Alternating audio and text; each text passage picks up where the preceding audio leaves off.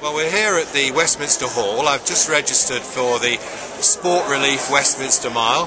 I must say, looking around, they look pretty fit, so we'll have to see how it goes. But uh, anyway, I'm looking forward to it, and we're going to go off and go to St James's Park. Here we are at the start. It's uh, quite cold, but we're looking forward to it, and let's hope it all goes well. Anyway, um, you know, really excited about it. I think it's going to be great. And this is the Minister, Jerry.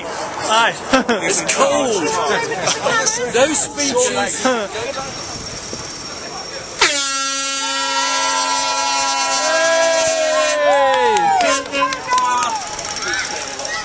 Go on, Ollie!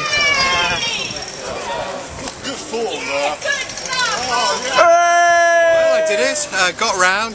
Was aiming for 12 minutes. Did it in 10 and a half. Um, I'd like to thank Richard Kell for letting me go out on his training run last uh, weekend. That obviously helped. Of course, I was against all the really fit people in the house, so I wasn't aiming to win. But uh, you know, it's such a good cause, sports relief, and I'm delighted to have done it. Thanks.